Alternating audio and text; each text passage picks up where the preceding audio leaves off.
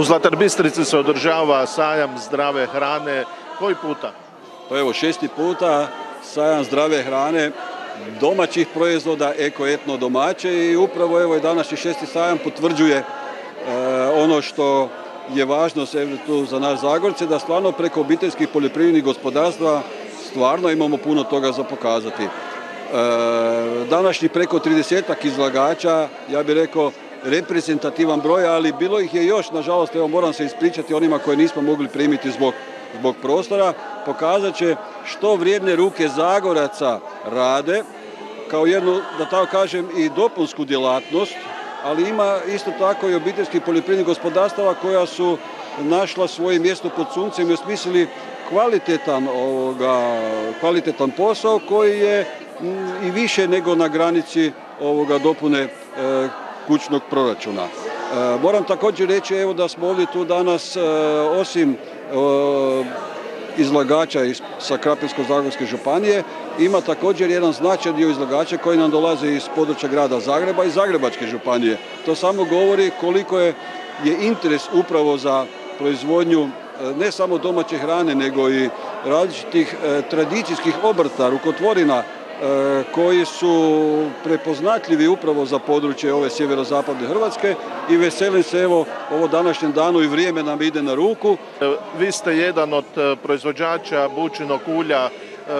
Kako se zapravo bučino ulje dobiva u Zagorju? Točno je, mi smo proizvođači, obiteljsko je to, gospodarstvo, mi smo proizvođači i počeli smo se baviti 2007. Kad smo se počeli baviti, onda smo sa, u suradnji sa već poznatim proizvođačima organizirali i predavanje u Končini, u srednjoj školi i hvala Bogu vidi se dosta po našim oranicama da i onaj dio koji je ne kompletno, koji je bio pust, neobrađen, korovi rasli, da su ljudi za svoje potrebe, pa i za nekakvu sitnu sitnu poprava kućnog budžeta počeli proizvoditi bučino ulje.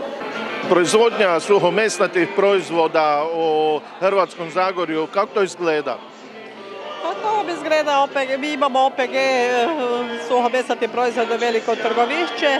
Moj sin je mesar, on to doma sve radi iz vlastiti svinje, iz vlastitog proizvoda.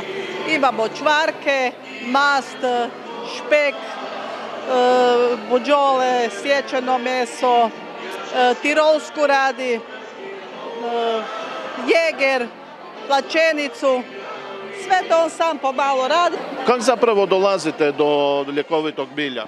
Mi sve proizvodimo na 52 hektara, imamo proizvodnju, 99% sve je pod ekološkom nadzorom i proizvodimo sa našim kooperantima širom Hrvatske. E, to je zanimljivo, mnogi recimo proizvođači tih ljekovitih pripravaka e, beru bilje po šumama, vi velite sve imate vlastita proizvodnja. Je, vlastita je 99% e, vlastita proizvodnja, samo neke pojedine stvari beremo po otocima, otok Pak, otok Korčula i tako nešto u Lici. Na sajmu Zlatar Bistrici sudjeluje i jedan proizvođač meda, ali još jednu zanimljiviju stvar on proizvodi od e, pčela. Pčelinji otrov u današnje vrijeme je vrlo bitan u pčelarstvu i u svemu.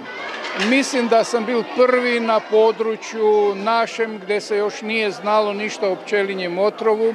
Uz sam zdrave hrane koje se održava u Zlatar Bistrici, nezaobilazni učesnici su i udruga žena e, Zagorska škrinjica. S kakvom aktivnošću danas? Evo mi smo i ove godine na šestom prodajno izložbenom sajmu e, pod nazivom 100% eko etno domaće.